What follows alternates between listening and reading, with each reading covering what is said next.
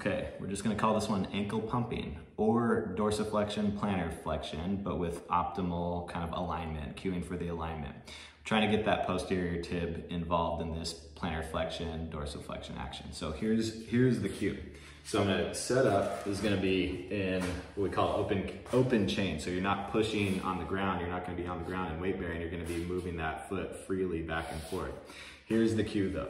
It is gonna be moving from that ball of the big toe. So that first metatarsal head, ball of the big toe, this is your point of emphasis right here. This is where you're, what you're thinking about trying to move.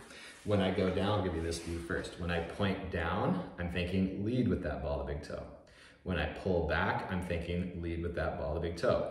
What that equates to is that as I go down, sorry, changing all around here, as I go down, that big toe kind of gets farther, a little farther than the pinky side of my foot. So as I'm pushing down, I'm still trying to stay straight from my view. My foot's in line with my shin from my view. You can't see that well from your view, but from my view, my foot's in line with my shin, but I'm leading big toe, leading ball to big toe. When I pull back, same thing, I'm leading ball to big toe. So now in this case, ball to big toe gets a little bit, is a little closer to my, say, knee than the pinky side.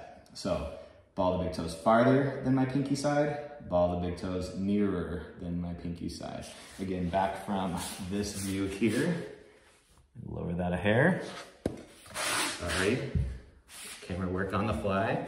So I was talking about is like this shin stays straight with my foot. I lead ball the big toe going down, pointing. I lead ball the big toe pulling back. But from your view, my foot stays straight up the whole time, straight, straight, not getting out to the side as you're doing that.